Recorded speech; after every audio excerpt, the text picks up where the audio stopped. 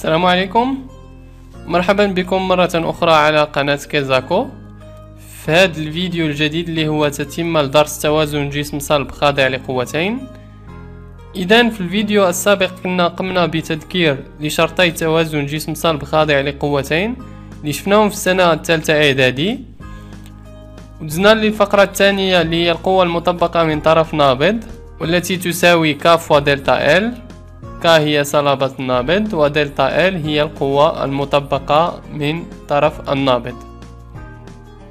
إذا دابا غادي نمروا للفقرة الثالثة في هذا الدرس واللي هي دافعة أرخميدس نسبة إلى العالم أرشيميد إذا أشنو هي هاد دافعة أرخميدس دافعة أرخميدس هي قوة تماس بالنسبة للقوى كنعرفوا بأن هناك قوى تماس وقوى عن بعد.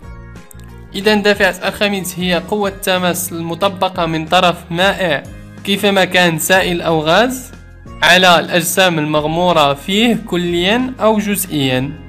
مثلا إلا خديت واحد الكرة وبغيت نديرها في واحد الكاس ممكن أنني نديرها كاملة في هذا الكاس أو غير جزء منها. إذا قلنا دافعة أرخميدس هي قوة وبالتالي فلها مميزات. اللي هي شي حاجة ضرورية لأن أي قوة لها مميزات. أشنو هما هاد المميزات؟ نقطة التأثير الاتجاه المنحة والشدة. واللي هما أربعة ديال المميزات ديال أي قوة. إذا بالنسبة للاتجاه فهو رأسي دائما رأسي الاتجاه. المنحة نحو الأعلى ديما هي كتدفع الأجسام الفوق. كالمثال اللي هضرنا عليه نتاع الكرة. إلا غمرنا كرة في الماء فبطبيعة الحال الماء ما غاديش يخلي داك الكرة تنزل لتحت وتغرق غادي يبقى يدفعها باش تطلع لفوق دائما منحى دافعة أرخميدس نحو الأعلى. تفاهمين على هذه النقطة. إذا الاتجاه رأسي والمنحى نحو الأعلى. ونقطة التأثير اللي خاص تردوا ليها البال اللي هي مركز ثقل السائل المزاح من طرف الجسم. أو بالأحرى مركز ثقل الجسم المغمور.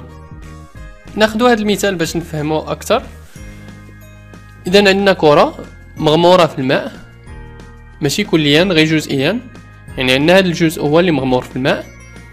بالنسبة لنقطة تأثير دافعه ارخميد المطبقة على الكرة على على على الجسم المغمور عفوا.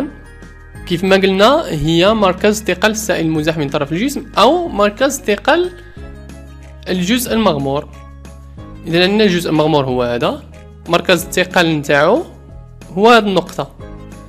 وبالتالي فإن نقطة تأثير دافعة أرخميدس هي هذه النقطة هي مركز ثقل الجسم المغمور.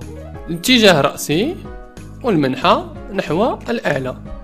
هذا كان فيما يخص جسم مغمور في الماء جزئيا. نشوف الحالة الثانية. حيث أن الكرة مغمورة كليا في الماء إذا نحاول نحدو نقطة تأثير نتاع دافعة أرخميدس المطبقة من طرف هذا السائل على آه، الكرة. كيف ما قلنا مرة أخرى نقطة التأثير هي مركز ثقل الجسم المغمور في السائل. إذا عندنا الجسم المغمور في السائل هو الكرة وبالتالي فإن مركز ثقل الكرة هو هذا.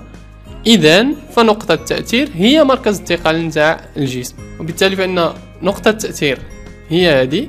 اتجاه رأسي والمنحى نحو الأعلى. مزيان هضرنا دابا على الاتجاه المنحى ونقطة التأثير بقات لينا الشدة. من خلال تجارب قاموا بها المختصين فشدة قوة دافعة أرخميدس تحسب بالعلاقة التالية. كيف ما قلنا سابقا أي قوة إلا ولها رمز. فمثلا القوة المطبقة من طرف النابض كنا عطيناها الرمز T. إلا عقلتو شدة الوزن كنرمزو ليها ب P. شدة تأثير السطح R. إلى آخره.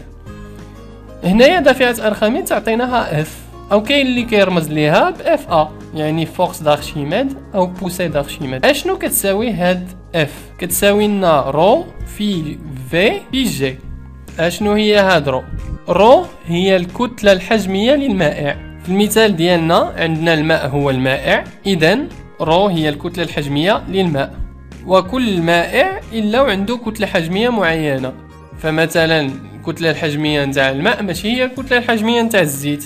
والوحدة العالمية نتاع هذه الكتلة الحجمية هي الكيلوغرام على المتر مكعب. لأن الوحدة العالمية للكتلة هي الكيلوغرام والوحدة العالمية للحجم هي المتر مكعب. إذا الكتلة الحجمية ال rho هي الكيلوغرام على المتر مكعب. وبالنسبة لل V فهي حجم السائل المزاح. نشوفوا هنايا نفترضوا أن مازال ما درناش الكرة في الماء وبالتالي الماء غادي يكون نازل لتحت. مور ما غادي نديرو الكرة في الماء غادي نخشيوها في الماء الماء بكل بساطة غادي يتزاد. إذا في هذه الحالة V هي بشحال تزاد لينا الماء مور ما خشينا الكرة في هذا الإناء. وهاد V كتساوي لنا أيضا حجم الجزء المغمور اللي هو هذا. في هذه الحالة. حنا كنعرفو نحسبو الحجم نتاع الكرة اللي هو ربعة على ثلاثة فوا بي فوا شعاع أس ثلاثة. وهنا الحجم الجزء الجزء المغمور وهو النصف نتاع الكرة. اذا إلا بغينا نحسبوا حجم السائل المزاح اللي قلنا هو كيساوي حجم الجزء المغمور من الجسم اللي هو نصف الكرة في هذه الحالة. اذا بكل بساطة فهو حجم الكرة مقسوم على اثنان اللي هو أربعة على ثلاثة مضروبة في بي مضروبة في الشعاع أس ثلاثة كل مقسوم على اثنان. نشوفوا في هذه الحالة عندنا الكرة مغمورة كليا ونعلم أن حجم السائل المزاح هو حجم الجسم المغمور. في السائل. وفي هذه الحالة الحجم نتاع الكرة كنعرفوه اللي هو 4 على 3 مضروبة في بي فوا الشعاع أس 3 إذا حجم السائل المزاح يساوي حجم الكرة يساوي 4 على 3 مضروبة في بي مضروبة في الشعاع أس 3 والوحدة ديالها هي المتر مكعب. وخاصنا نردو البال مع الوحدات. ديما نحولوهم للوحدة العالمية. علاش؟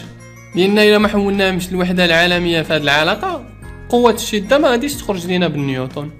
إلا مثلا الحجم تعطى لينا باللتر وما حولناش ودرنا التطبيقات العددية فمستحيل تخرج لنا الشدة بالنيوتن. donc قلنا rho هي الكتلة الحجمية V هي حجم السائل المزاح و جي هي شدة مجال الثقالة. اللي كنعرفوا الوحدة ديالها هي نيوتن على الكيلوغرام. اذا هنا إلا شفنا أه علاش نقولوا نحاولوا نبرهنوا علاش F تخرج لنا بالنيوتن كيف ما كنشوفوا هنا عندنا الكيلوغرام الفوق. هنا الكيلوغرام لتحت. donc كيلوغرام مشات مع الكيلوغرام. عندنا المتر مكعب لتحت متر مكعب الفوق اذا متر مكعب مشات مع المتر مكعب. كتبقى لنا نيوتن واللي هي الوحدة العالمية نتاع القوة F A force d'Archimède اذا هذه الفقرة كانت هي آخر فقرة في الدرس. نتمنى أنكم تكونوا استفدتوا معنا وإلى فرصة قادمة إن شاء الله. وما تنسوش تتابعوا الجديد ديالنا على قناة اليوتيوب والموقع الرسمي كازاكو.com شكرا وإلى اللقاء.